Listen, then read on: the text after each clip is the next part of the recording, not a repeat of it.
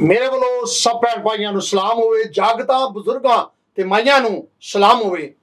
ਅੱਜ ਦਾ ਪ੍ਰੋਗਰਾਮ ਲੈ ਕੇ ਫੇਰ ਹਾਜ਼ਰ ਹੋਇਆ ਅੱਜ ਦੀ ਗੱਲ। ਅੱਜ ਦੀ ਗੱਲ ਦੇ ਨਾਲ ਮੈਂ ਤੁਹਾਨੂੰ ਅੱਜ ਦਾ ਮੇਰਾ ਪ੍ਰੋਗਰਾਮ ਦੂਜੇ ਪ੍ਰੋਗਰਾਮਾਂ ਨਾਲੋਂ ਵੱਖਰਾ ਹੈ। ਕਿਉਂਕਿ ਅੱਜ ਸਾਡੇ ਕੋਲ ਇੱਕ ਮਹਿਮਾਨ ਜਿਹੜੇ ਕਿ ਸਿੰਧਤ ਦੇ ਵਿੱਚੋਂ ਤਸ਼ਰੀਫ ਲਿਆਏ ਨੇ ਤੇ ਅੱਜ ਅਸੀਂ ਉਹਨਾਂ ਦੇ ਨਾਲ ਚੰਦ ਗੱਲਾਂ ਬਾਤਾਂ ਸੁਣਾਂਗੇ ਤੇ ਮੈਂ ਇਹ ਯਕੀਨ ਰੱਖਣਾ ਵਾਂ ਕਿ ਉਹਨਾਂ ਦੀਆਂ ਗੱਲਾਂ ਜ਼ਰੂਰ ਹਾਕਮ ਆਲਾ ਨੂੰ ਵੀ ਔਰ ਦੇਖਣ ਤੇ ਸੁਣਨ ਵਾਲਿਆਂ ਨੂੰ ਬੜੀ ਖਾਸ ਤੌਰ ਤੇ ਸਿੱਖਣ ਦਾ ਵੀ ਤੇ ਸਮਝਣ ਦਾ ਵੀ ਸਬਬ ਬਣਨਗੀਆਂ। ਸੋ ਅੱਜ ਦੇ ਪ੍ਰੋਗਰਾਮ ਦੇ ਵਿੱਚ ਮੈਂ ਉਹਨਾਂ ਦਾ ਜ਼ਿਕਰ ਖਾਸ ਕਰਨਾ, ਮਕਬੂਲ ਮਸੀਹ ਖੋਖਰ, ਜਿਹੜੇ ਕਿ ਮਸੀਹੀ ਇਤਿਹਾਦ ਕੌਂਸਲ ਦੇ ਕੌਂਸਲ ਦੇ ਮਰਕਜ਼ੀ ਸਦਰ ਨੇ। ਆਓ ਅਸੀਂ ਅੱਜ ਆਪਣੇ ਆਏ ਮਹਿਮਾਨ ਮਕਬੂਲ ਮਸੀਹ ਖੋਖਰ ਨਾਲ ਗੱਲ ਕਰਨੇ ਅੱਜ ਦੇ ਪ੍ਰੋਗਰਾਮ ਦੇ ਵਿੱਚ ਜਿਹੜਾ ਕਿ ਪ੍ਰੋਗਰਾਮ ਅੱਜ ਦੀ ਗੱਲ ਹੈ ਮੈਂ ਮਕਬੂਲ ਮਸੀਹ ਖੋਖਰ ਨੂੰ ਅੱਜ ਦੇ ਪ੍ਰੋਗਰਾਮ 'ਚ ਜੀ ਆਇਆਂ ਨੂੰ ਕਹਿਣਾ ਵਾ। ਥੈਂਕ ਯੂ ਜਨਾਬ ਥੈਂਕ ਯੂ ਅੱਜ ਦੇ ਪ੍ਰੋਗਰਾਮ ਦੇ ਵਿੱਚ ਅੱਜ ਦੀ ਗੱਲ ਦਾ ਜਿਹੜਾ ਅਦਵਾਨ ਸਾਡਾ ਹੈਗਾ ਅੱਜ ਦੀ ਗੱਲ ਅੱਜ ਮੈਂ ਚੰਦ ਸਵਾਲਾਤ ਜਿਹੜੇ ਕਿ ਸਾਡੇ ਮਹਿਮਾਨ ਆਏ ਨੇ ਸਾਨੂੰ ਬੜੀ ਖੁਸ਼ੀ ਹੈ ਤੇ ਮੈਂ ਮਕਬੂਲ ਮਸੀਹ ਖੋਖਰ ਸਾਹਿਬ ਨਾਲ ਜਿਹੜਾ ਮੇਰਾ ਪਹਿਲਾ ਸਵਾਲ ਜਿਹੜਾ ਕਿ ਮੈਂ ਉਹਨਾਂ ਨੂੰ ਕਰਨਾ ਚਾਹਦਾ ਕਿਉਂਕਿ ਉਹ ਪਾਕਿਸਤਾਨ ਦੇ ਨਾਲ ਨਾਲ ਪਾਕਿਸਤਾਨ ਪੀਪਲਸ ਪਾਰਟੀ ਦੇ ਵੀ ਉਹ ਉਮੀਦਵਾਰ ਨੇ ਮਖਸੂਸ ਸੀਟ ਦੇ ਉੱਤੇ। ਗੋਗੇ ਅਸੀਂ ਮਖਸੂਸ ਸੀਟ ਦੇ ਉੱਤੇ ਬਹੁਤ ਦਫਾ ਇਹ ਗੱਲ ਕਰ ਚੁੱਕੇ ਹਾਂ ਕਿ ਅਸੀਂ ਮਖਸੂਸ ਸੀਟਾਂ ਦੇ ਹਾਮੀ ਨਹੀਂ। ਲੇਕਿਨ ਅੱਜ ਮੈਂ ਉਹਨਾਂ ਨੂੰ ਸਵਾਲ ਕਰਾਂਗਾ ਕਿ ਸਾਰੇ ਅਹ, ਵਾਕਿਆ ਦੇ ਵਿੱਚ ਤੁਸੀਂ ਕੀ ਮਹਿਸੂਸ ਕਰਦੇ ਹੋ? ਕਿ ਮਖਸੂਸ ਸੀਟਾਂ ਤੇ ਦੋਹਰਾ ਵੋਟ, ਇਹਦੇ ਚ ਤੁਸੀਂ ਕੀ ਮੁਆਜ਼ਨਾ ਕਰਦੇ ਹੋ? ਆਸਫ ਸਾਹਿਬ, ਤੁਹਾਡਾ ਬਹੁਤ-ਬਹੁਤ ਸ਼ੁਕਰੀਆ ਕਿ ਅੱਜ ਤੁਸੀਂ ਨੈਸ਼ਨਲ ਟੀਵੀ ਦੇ ਵਿੱਚ ਸਾਨੂੰ ਦਾਵਤ ਦਿੱਤੀ ਹੈ ਤੇ ਅਸੀਂ ਤੁਹਾਡੇ ਕੋਲ ਆਏ ਆ ਇਸ ਪ੍ਰੋਗਰਾਮ ਦੇ ਵਿੱਚ। ਤੁਹਾਡੀ ਮਹਿਮਾਨ ਨਵਾਜ਼ੀ, ਲਾਹੌਰੀਆਂ ਦੀ, ਉਹਦਾ ਮੈਂ ਸ਼ੁਕਰੀਆ ਅਦਾ ਕਰਨਾ ਵਾਂ ਆਪਣੀ ਪੂਰੀ ਟੀਮ ਵੱਲੋਂ। ਔਰ ਉਹਦੇ ਨਾਲ ਨਾਲ ਹੀ ਇਹ ਜਿਹੜਾ ਤੁਸੀਂ ਸਵਾਲ ਪੁੱਛਿਆ ਇਹ ਸਵਾਲ ਅਕਸਰ ਚੱਲਦਾ ਹੈ ਬਹੁਤ ਸੇ ਇਸ਼ੂਆਂ ਦੇ ਵਿੱਚ ਬਹੁਤ ਸੇ ਪਲੇਟਫਾਰਮਾਂ ਦੇ ਵਿੱਚ ਮੈਂ ਜ਼ਾਤੀ ਤੌਰ ਤੇ ਇਹਦਾ ਹਾਮੀ ਨਹੀਂ ਹੂੰ ਜ਼ਾਤੀ ਤੌਰ ਤੇ ਇਹਦਾ ਮੈਂ ਹਾਮੀ ਨਹੀਂ ਕਿ ਅਸੀਂ ਮਖਸੂਸ ਸੀਟਾਂ ਨੂੰ ਕਰੀਏ ਮਖਸੂਸ ਸੀਟ ਮੇਰੀ ਨਜ਼ਰ ਦੇ ਵਿੱਚ ਇੰਜ ਕਿ ਜਿਵੇਂ ਇੱਕ ਮਜ਼ਦੂਰ ਆਦਮੀ ਨੂੰ ਸੀਟ ਤੇ ਬਿਠਾਤਾ ਹੈ ਹੂੰ ਮੇਰੀ ਨਜ਼ਰ ਦੇ ਵਿੱਚ ਪਰ ਅਸਾਂ ਪਾਕਿਸਤਾਨ ਦੇ ਵਿੱਚ ਇਸ ਸਿਸਟਮ ਨੇ ਜਿੰਨਾ ਤੱਕ ਜੁਦਾਗਾਨਾ ਨਹੀਂ ਹੁੰਦੇ, ਉਹਨਾਂ ਤੱਕ ਇਸ ਸਿਸਟਮ ਨੂੰ, ਨੇ ਇੰਜ ਚੱਲਣਾ ਹੈ। ਤੇ ਅਸਾਂ ਇਸ ਸਿਸਟਮ ਦਾ ਹਿੱਸਾ ਬਣਨਾ ਹੈ। ਅਗਰ ਮੈਨੂੰ ਯਿਸੂ ਵੱਲੋਂ ਬਰਕਤ ਮਿਲ ਜਾਂਦੀ ਹੈ ਤੇ ਮੈਂ ਆਵਾਨ 'ਚ ਚਲਾ ਜਾਣਾ ਵਾਂ ਤੇ ਮੈਂ ਇਹਦੇ ਵਾਸਤੇ ਕਰਾਰਦਾਸਤ ਪੇਸ਼ ਕਰਨ ਦਾ ਕਿ ਸਾਨੂੰ ਜੁਦਾਗਾਨਾ, ਇੰਤਖਾਬਾਤ ਦਿੱਤੇ ਜਾਣ। ਸਾਡੇ ਜਿਹੜੇ ਮੌਜੂਦਾ ਸੈਟਅਪ ਦੇ ਵਿੱਚ ਬੈਠੇ ਨੇ ਉਹ ਗੂੰਗੇ ਤੇ ਬਹਿਰੇ ਨੇ। ਉਹਨਾਂ ਅੱਜ ਤੱਕ ਸਾਡੇ ਮਸੀਹ ਕੌਮ ਦੀ ਆਵਾਜ਼ ਆਵਾਨਾਂ 'ਚ ਬੁਲੰਦ ਨਹੀਂ ਕੀਤੀ। ਉਹਨਾਂ ਨੂੰ ਦਬਾਏ ਹੀ ਹੈ। ਇਹ ਤੁਹਾਡਾ ਇੰਨਾ ਅੱਛਾ ਸਵਾਲ ਹੈ ਮੈਨੂੰ ਪਸੰਦ ਆਇਆ। ਪਹਿਲਾ ਸਵਾਲ ਹੀ ਤੁਸੀਂ ਇਹ ਕੀਤਾ ਤੇ ਇਹਦੇ ਵਾਸਤੇ ਮੈਂ ਤੁਹਾਨੂੰ ਐਪਰੀਸ਼ੀਏਟ ਕਰਨਾ ਵਾਂ। ਇਹਦੇ ਨਾਲ ਹੋਰ ਵੀ ਗੱਲਾਂ ਨੇ। ਸਾਡੀ ਅੱਛੇ ਤਰੀਕੇ ਦੇ ਨਾਲ ਪਾਕਿਸਤਾਨ ਦੇ ਵਿੱਚ ਮਰਤਮਸ਼ੁਮਾਰੀ ਨਹੀਂ ਹੁੰਦੀ। ਖਾਸ ਤੌਰ ਤੇ ਮਸੀਹਾਂ ਦੀ। ਮੇਰਾ ਜਿਹੜਾ ਪਾਕਿਸਤਾਨ ਦਾ ਸਰਵੇ ਪੰਜਾਬ ਦੇ ਵਿੱਚ ਅਸੀਂ ਬਹੁਤ ਜ਼ਿਆਦਾ ਵਾਂ। ਸਿੰਧ ਦੇ ਵਿੱਚ ਅਸੀਂ ਘੱਟ ਹਾਂ ਹਿੰਦੂ ਕਮਿਊਨਿਟੀ ਜ਼ਿਆਦਾ ਹੈ। ਪਰ ਉਹਦੇ ਵਿੱਚ ਵੀ ਅਸੀਂ ਵੇਖੀਏ ਸਨ 1947 ਤੋਂ ਲੈ ਕੇ ਹੁਣ ਤੱਕ 76 ਸਾਲ ਹੋ ਗਏ ਨੇ। ਤੇ 76 ਸਾਲਾਂ ਦੇ ਵਿੱਚ ਅਸੀਂ ਉਦੋਂ ਵੀ ਘੱਟ ਸਾਂ। ਤੇ ਅੱਜ ਤੇ ਅਸੀਂ ਕਿਸੇ ਖਾਤੇ 'ਚ ਹੈ ਹੀ ਨਹੀਂ। ਜਿੰਨੇ ਅਸੀਂ ਸਨ 1947 'ਚ ਸਾਂ ਤੇ 76 ਸਾਲਾਂ ਬਾਅਦ ਅੱਜ ਵੀ ਅਸੀਂ ਉਨੇ ਹੀ ਆ। ਤੇ ਸਾਡੇ ਭਰਾ ਅੱਗੇ ਵੱਧਦੇ ਜਾ ਰਹੇ ਨੇ। ਸਾਡੀਆਂ ਮਾਵਾਂ ਜਿਹੜੀਆਂ ਨੇ, ਉਹ ਸਾਡੇ ਬੱਚੇ ਖਾ ਜਾਂਦੀਆਂ ਨੇ। ਅੱਗੇ ਨਹੀਂ ਵਧਾਉਂਦੀਆਂ। ਤੇ ਇਹਦਾ ਮਤਲਬ ਤੇ ਇਹ ਹੋਈ ਹੈ ਕਿ ਪਾਕਿਸਤਾਨ ਦੇ ਵਿੱਚ ਸਾਨੂੰ ਦੋਰੀ ਮਾਂ ਵਾਲਾ ਸਲੂਕ ਮਿਲ ਰਿਹਾ। ਇਹੋ ਹੀ ਜ਼ਾਹਿਰ ਕੀਤਾ ਜਾ ਰਿਹਾ ਕਿਉਂਕਿ ਮੈਂ ਇਸ ਤਾਂ ਤੋਂ ਕਹਾਂਗਾ ਮਤਰਈ ਮਾਂ ਵਾਲਾ। ਮਤਰਈ ਮਾਂ ਵਾਲਾ ਕਹਿ ਸਕਦੇ ਹੋ। ਸਾਨੂੰ ਇਹੋ ਹੀ ਮਿਲ ਰਿਹਾ ਇਸ ਤੋਂ ਇਲਾਵਾ ਕੁਝ ਨਹੀਂ ਮਿਲ ਰਿਹਾ।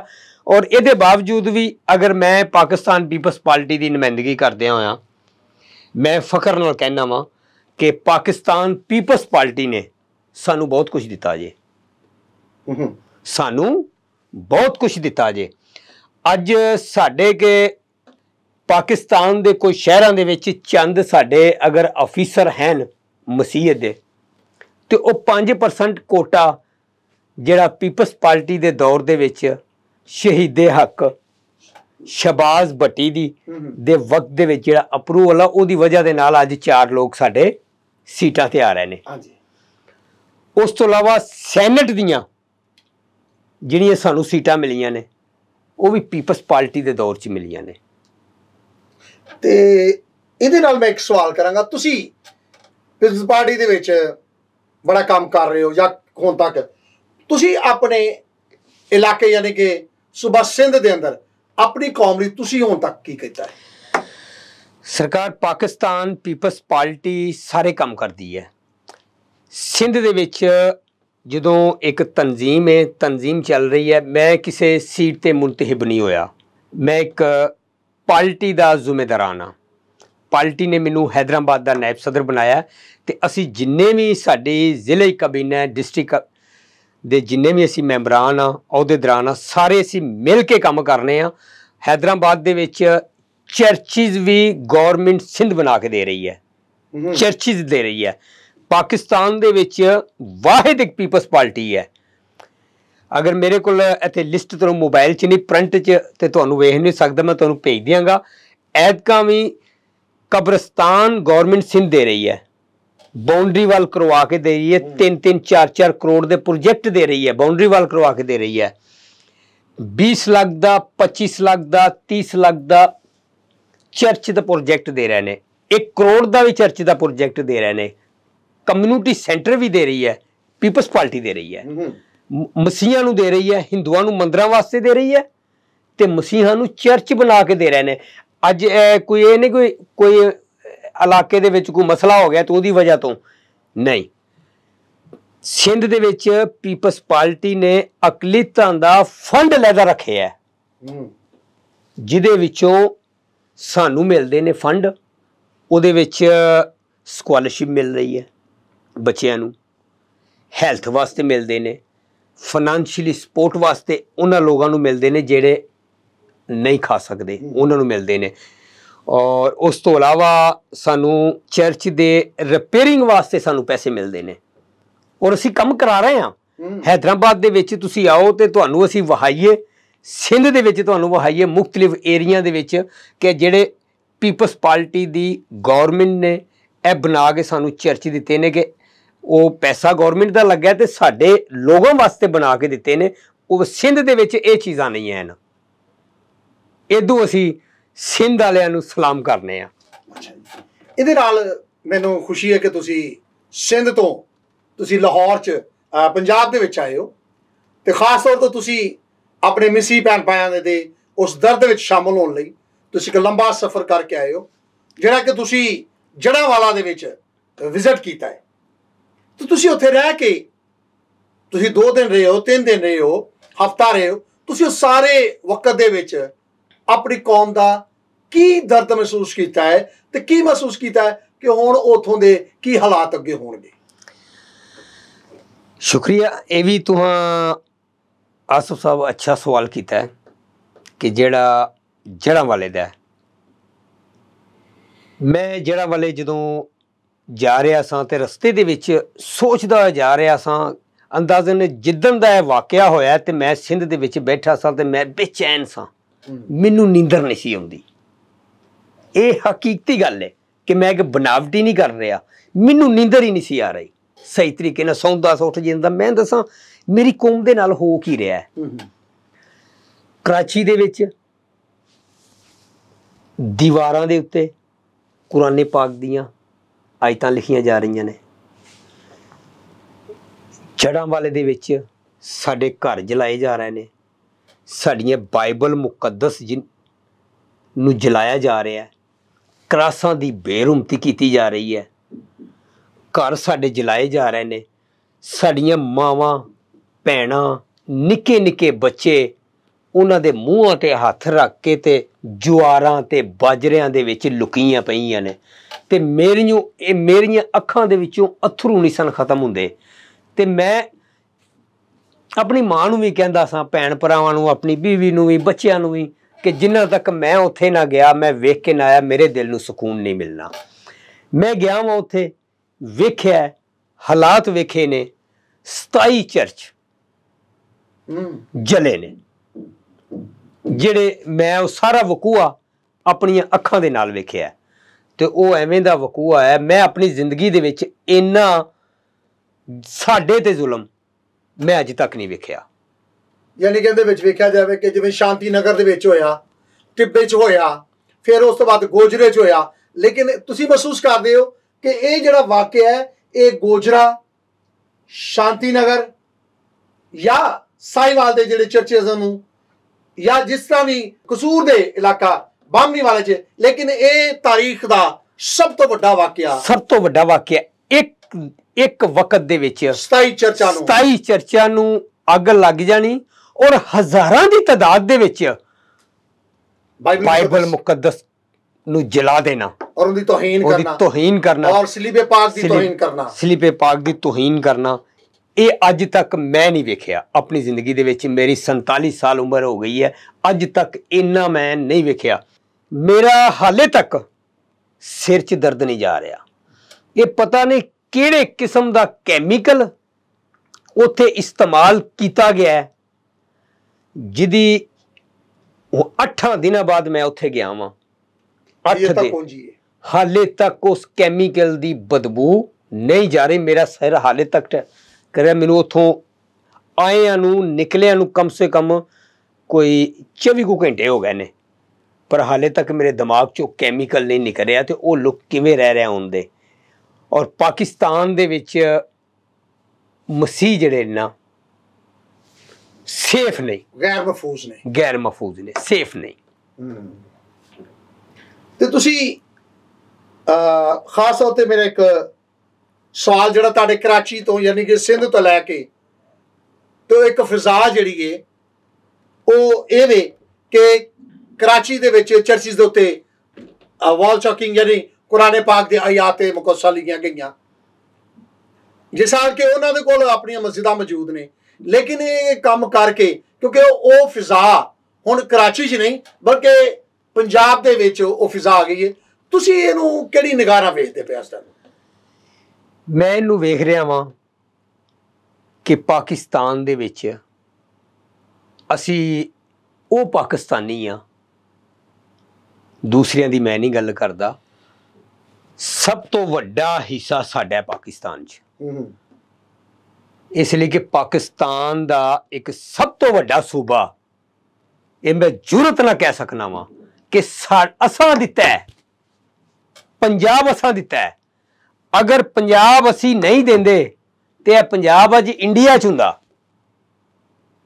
ਇਹ ਪੰਜਾਬ ਦਾ ਹਿੱਸਾ, ਇਹ ਜਿਹੜੇ ਪੰਜਾਬ ਦੇ ਮੁਸਲਮਾਨ ਭਾਈ ਰਹਿੰਦੇ ਨੇ ਸਾ- ਇਸ ਪੰਜਾਬ ਦੇ ਵਿੱਚ, ਤੇ ਉਹਨਾਂ ਨੂੰ ਸਾਡਾ ਆਸਾਨਮੰਦ ਹੋਣਾ ਚਾਹੀਦਾ ਜਿਹੜੇ ਸਾਨੂੰ ਅੱਜ ਸਾੜਦੇ ਨੇ ਪਏ, ਜਿਹੜੇ ਸਾਡੇ ਬਾਈਬਲ ਮੁਕੱਦਸਾਂ ਨੂੰ ਸਾੜਦੇ ਨੇ ਪਏ, ਉਹਨਾਂ ਨੂੰ ਸਾਡਾ ਆਸਾਨਮੰਦ ਹੋਣਾ ਚਾਹੀਦਾ ਉਹ ਆਸਾਨ ਫਰਮੋਸ਼ ਹੋ ਗਏ ਨੇ ਕੀ? ਕਰਾਚੀ ਦੀ ਗੱਲ ਜਿੱਥੇ ਤੱਕ ਕਿ ਕਿ ਇਹ ਪਤਾ ਨਹੀਂ ਸੋਚੀ ਸਮਝੀ ਸਾਜ਼ਿਸ਼ ਹੈ ਜਾਂ ਪਾਕਿਸਤਾਨ ਚੋਂ ਮੈਂ ਜਾਂ ਬਾਹਰੋਂ ਮੈਂ ਇਹਨੂੰ ਖੁਦਾ ਬਿਹਤਰ ਜਾਣਦਾ ਹੈ ਜਾਂ ਸਾਡੇ ਇੰਤਜ਼ਾਮੀਆ ਉਹਨੂੰ ਇੱਥੇ ਤੋਜੋ ਕਰਨੀ ਚਾਹੀਦੀ ਹੈ ਕਿ ਖਾਸ ਤੌਰ ਤੇ ਮਸੀਹਾਂ ਨੂੰ ਟਾਰਗੇਟ ਬਣਾਇਆ ਜਾ ਰਿਹਾ ਹੈ। ਪਹਿਲਾਂ ਹਿੰਦੂਆਂ ਨੂੰ ਕਰਾਚੀ 'ਚ ਬਣਾਇਆ ਜਾ ਰਿਹਾ ਸੀ, ਸਿੰਧ 'ਚ। ਹੁਣ ਮਸੀਹਾਂ ਦੇ ਪਿੱਛੇ ਲੱਗ ਗਏ ਨੇ। ਉਹ ਕਰਾਚੀ ਦੇ ਵਿੱਚ ਚਰਚਿਸ ਦੀ ਦੀਵਾਰਾਂ ਦੇ ਉੱਤੇ ਕੁਰਾਨੇ ਪਾਕ ਦੀਆਂ ਆਇਤਾਂ ਲਿਖਣ ਦਾ ਕੀ ਕੰਮ ਹੈ? ਪਰ ਉੱਥੇ ਲਿਖ ਰਹੇ ਨੇ ਇੰਤਸ਼ਾਰ ਫੈਲਾ ਰਹੇ ਨੇ। ਇਹ ਉਹ ਲੋਕ ਨੇ ਜਿਹੜੇ ਮੁਸਲਮਾਨ ਨਹੀਂ। ਅਗਰ ਮੁਸਲਮਾਨ ਹੋਣ ਤੇ ਐਵੇਂ ਦਾ ਕੰਮ ਨਾ ਕਰਨ ਅਗਰ ਉਹਨੂੰ ਕੋਈ ਮਟਾਣ ਲਈ ਜਾਵੇ ਤੇ ਤੁਸੀਂ ਨੇਰ ਸਾਲਤ ਦਾ ਕੇਸ। ਸਾਡੀ ਕੌਮ ਜਾਵੇ ਕਿੱਥੇ? ਬਿਲਕੁਲ। ਅਗਰ ਕੋਈ ਫੈਸਲਾਬਾਦ ਦੇ ਵਿੱਚ ਹੋਵੇ ਤੇ ਉਹ ਵੀ ਇੰਜ ਲਾਹੌਰ ਦੇ ਵਿੱਚ ਹੋਵੇ ਤੇ ਉਹ ਵੀ ਇੰਜ ਪਾਕਿਸਤਾਨ ਦੇ ਵਿੱਚ ਕੋਈ ਮੇਰੇ ਖਿਆਲ 'ਚ ਕੋਈ ਮੈਂ ਕੇਸ ਨਹੀਂ ਇੰਜ ਦਾ ਵੇਖਿਆ ਆਪਣੀ ਜ਼ਿੰਦਗੀ ਦੇ ਵਿੱਚ ਜਿਹੜਾ ਕਿਸੇ ਤੇ ਸਾਬਤ ਹੋਇਆ ਹੋਵੇ। ਸਾਰੇ ਝੂਠੇ ਕੇਸ ਬਣਾਏ ਗਏ ਨੇ। ਅਗਰ ਇਹਨਾਂ ਤੇ ਕੋਈ ਲੱਗਦਾ ਤੇ ਉਹ 10 ਦਿਨਾਂ ਬਾਅਦ ਛੁੱਟ ਜਾਂਦਾ ਸਾਡਾ ਉੱਥੇ ਲਟਕਿਆ ਰਹਿੰਦਾ। ਯਾਨੀ ਕਿ ਤੁਸੀਂ ਦੱਸਣਾ ਚਾਹ ਰਹੇ ਜਿਵੇਂ ਕਿ ਰਿਮਸ਼ਾ ਕੇਸ ਦੇ ਵਿੱਚ ਵੀ ਮੌਲਾਨਾ ਸਾਹਿਬ ਨੇ ਜਿਹੜੀ ਸ਼ਰਾਰਤ ਕੀਤੀ ਉਹ ਬਾਅਦ ਦੇ ਵਿੱਚ ਉਹਦਾ ਕੀ ਬਣਿਆ ਕਿਸੇ ਨੂੰ ਕੋਈ ਪਤਾ ਹੀ ਕੋਈ ਪਤਾ ਹੀ ਨਹੀਂ ਹੈ। ਅਗਰ ਉਹਦੀ ਜਗ੍ਹਾ ਤੇ ਕੋਈ ਮਸੀਹੀ ਹੁੰਦਾ ਤੇ ਤਮਾਮ। ਤਮਾਮ ਮਜ਼ਬੀ ਰਹਿਨਵਾ ਉਹਦੇ ਪਿੱਛੇ ਲੱਗੇ ਹੋਣੇ ਸਨ ਤੇ ਦੂਸਰੇ ਨੰਬਰ ਤੇ ਤੁਸੀਂ ਵੇ ਕੈਮੀਕਲ ਦੀ ਗੱਲ ਕਰ ਰਹੇ ਹੋ ਕਿ ਮੈਂ ਇਹਦੇ ਨਾਲ ਥੋੜੀ ਜਿਹੀ ਗੱਲ ਵਧਾਉਣਾ ਚਾਹਨਾ ਜਿਹੜੀ ਗੱਲ ਮਕਬੂਲ ਸਾਹਿਬ ਨੇ ਕੀਤੀ ਹੈ ਕਿ ਉਸ ਕੈਮੀਕਲ ਦੀ ਅਜੇ ਤੱਕ ਸਮੈਲ ਮੇਰੇ ਜ਼ੇਨ ਚੋਂ ਨਹੀਂ ਨਿਕਲਦੀ ਮੇਰੇ ਨੱਕ ਚੋਂ ਨਹੀਂ ਨਿਕਲਦੀ ਪਈ ਮੈਂ ਦੱਸਣਾ ਚਾਹੁੰਦਾ ਕਿ ਇਹ ਸੇਮ ਇਹੋ ਕੈਮੀਕਲ ਉਹ ਸ਼ਾਂਤੀ ਨਗਰ ਚ ਵੀ ਇਸਤੇਮਾਲ ਹੋਇਆ। ਔਰ ਉਹ ਐਸਾ ਕੈਮੀਕਲ ਹੈ ਉਹ ਕੌਣ ਇਹਨਾਂ ਨੂੰ ਮੁਹੱਈਆ ਕਰਦਾ ਛਿੜਕਦੇ ਨੇ, ਉਸ ਤੋਂ ਬਾਅਦ ਲੈਂਟਰ ਹੀ ਥੱਲੇ ਆ ਜਾਂਦਾ ਗੋਜਰੇ 'ਚ ਵੀ ਉਹੀ ਇਸਤੇਮਾਲ ਹੋਇਆ। ਔਰ ਜਿਸ ਤਰ੍ਹਾਂ ਕਿ ਹੁਣ ਤੁਹਾਡੇ ਸਾਹਮਣੇ ਆ ਗਿਆ ਹੈ ਕਿ ਜੜਾ ਵਾਲੇ ਦੇ ਵਿੱਚ ਵੀ ਹੋਈ ਉਹਦੇ ਵਿੱਚ ਮੈਂ ਇਹ ਵੀ ਵੇਖਿਆ ਆਸਫ ਸਾਹਿਬ ਕਿ ਇੱਕ ਘਰ ਦੇ ਵਿੱਚ ਅਸੀਂ ਵਿਜ਼ਿਟ ਕਰਨ ਲਈ ਗਏ ਆ ਤੇ ਉਸ ਘਰ ਤਿੰਨ ਮੰਜ਼ਲਾ ਬਣੇ ਆ। ਉਹ ਕੈਮੀਕਲ ਦਾ ਇੰਨਾ ਅਸਰ ਹੈ ਕਿ ਦੀਵਾਰਾਂ ਜਿਹੜੀਆਂ ਨੇ ਉਹ ਇੰਜ ਹਿੱਲੀਆਂ ਪਈਆਂ ਨੇ ਦਰਾੜਾਂ ਪਈਆਂ ਨੇ ਦੀਵਾਰਾਂ ਦੇ ਵਿੱਚ ਤੇ ਫੈਮਿਲੀ ਕਹਿ ਰਹੀ ਹੈ ਅੱਗੇ ਨਾ ਜਾਇਆ ਜੇ। ਮੈਂ ਕਿਹਾ, ਕਿਉਂ? ਇਹ ਕਿਲੇ ਉੱਤੇ ਨਾ ਡਿੱਗ ਪਵੇ। ਇਹ ਦੀਵਾਰਾਂ ਵੇਖੋ ਇੰਜ ਦੀਆਂ ਹੋਈਆਂ ਨੇ ਉਹ ਦੀਵਾਰਾਂ ਫਟ ਗਈਆਂ ਨੇ। ਕੈਮੀਕਲ ਇੰਜ ਦਾ ਅੱਗ ਅੱਗ ਅਗਰ ਕੱਪੜਿਆਂ ਨੂੰ ਅੱਗ ਲੱਗਦੀ ਹੈ ਕੱਪੜਿਆਂ ਨੂੰ ਅੱਗ ਲੱਗਦੀ ਹੈ ਕਿਸੇ ਚੀਜ਼ ਨੂੰ ਅੱਗ ਲੱਗਦੀ ਹੈ ਤੇ ਦੀਵਾਰ ਨੂੰ ਇੰਨਾ ਅਸਰ ਨਹੀਂ ਹੋ ਸਕਦਾ। ਅਗਰ ਕੁਝ ਵੀ ਜਲਦਾ ਤੇ ਇੰਨਾ ਅਸਰ ਨਹੀਂ ਹੋ ਸਕਦਾ। ਪਰ ਉਸ ਕੈਮੀਕਲ ਦਾ ਇੰਨਾ ਅਸਰ ਹੋਇਆ ਕਿ ਦੀਵਾਰਾਂ ਇੰਜ ਫਟ ਗਈਆਂ ਨੇ ਤੇ ਉੱਤੋਂ ਇੰਜ ਡਿੱਗੀਆਂ ਨੇ ਛੱਤਾਂ। ਸੇਮ ਉਂਜੀ ਜਿਵੇਂ ਆਰਸੀਸੀ ਆਰਸੀਸੀ ਛੱਤ ਕਿਵੇਂ ਡਿੱਗ ਸਕਦੀ ਹੈ। ਉਹ ਕੈਮੀਕਲ ਨਾਲ ਡਿੱਗੀਆਂ ਨੇ। ਇਹ ਸਾਡੇ ਖਿਲਾਫ ਸਾਜ਼ਿਸ਼ ਚੱਲ ਰਹੀ ਹੈ। ਸੋ ਮੇਰੇ ਅਜ਼ੀਜ਼ੋ ਤੁਸੀਂ ਅੱਜ ਸਾਡੇ ਮਹਿਮਾਨ ਮਕਬੂਲ ਮਸੀਹ ਖੋਖਰ ਜਿਹੜੇ ਸਿੰਧ ਤੋਂ ਤਸ਼ਰੀਫ ਲਿਆਏ ਤੁਸੀਂ ਉਹਨਾਂ ਦੀਆਂ ਗੱਲਾਂ ਸੁਣੀਆਂ ਨੇ ਔਰ ਜਿੰਦੇ ਵਿੱਚ ਉਹਨਾਂ ਨੇ ਆਪਣੇ ਖਿਆਲਾਂ ਦਾ ਇਜ਼ਹਾਰ ਕੀਤਾ ਹੈ। ਤੇ ਅੱਜ ਉਹਨਾਂ ਦੇ ਨਾਲ ਸਾਰੀਆਂ ਗੱਲਾਂ ਕਰਕੇ ਸਾਨੂੰ ਵੀ ਬੜੀ ਖਾਸ ਤੌਰ ਤੇ ਸਿੰਧ ਦੇ ਹਵਾਲੇ ਨਾਲ ਵੀ ਬੜੀ ਇਨਫੋਰਮੇਸ਼ਨ ਹਾਸਲ ਹੋਈ ਹੈ ਤੇ ਅਸੀਂ ਚਾਹਾਂਗੇ ਕਿ ਫਿਰ ਕਦੀ ਦੁਬਾਰਾ ਤਸ਼ਰੀਫ ਲਿਆਓ ਤੇ ਅੱਜ ਦਾ ਪ੍ਰੋਗਰਾਮ ਦਾ ਇਖਤਤਾਮ ਅੱਜ ਇਸ ਗੱਲ ਨਾ ਕਰਾਂਗਾ ਕਿ ਇੰਤਜ਼ਾਮੀਆਂ ਇਸ ਗੱਲ ਤੇ ਗੌਰ ਕਰੇ ਕਿ ਉਹ ਕੈਮੀਕਲ ਕਿੱਥੋਂ ਆਉਂਦਾ ਹੈ, ਜਿਹੜਾ ਕਿ ਖਾਸ ਤੌਰ ਤੇ ਚਰਚਾਂ ਦੇ ਉੱਤੇ ਇਸਤੇਮਾਲ ਹੁੰਦਾ ਹੈ। ਇੱਕ ਉਹਨਾਂ ਬੜੀ ਮਜ਼ੇਦਾਰ ਗੱਲ ਕੀਤੀ ਕਿ ਸਾਡੇ ਮੁਸਲਮਾਨ ਭਾਈ ਭਾਈਆਂ ਨੂੰ ਸਾਡਾ ਅਹਿਸਾਨਮੰਦ ਹੋਣਾ ਚਾਹੀਦਾ ਹੈ। ਅਸਾਂ ਇਸ ਪਾਕਿਸਤਾਨ ਨੂੰ ਵੋਟ ਦਿੱਤਾ। ਮੈਂ ਅੱਜ ਫਿਰ ਉਹ ਗੱਲ ਦੁਹਰਾ ਦਿਆਂਗਾ।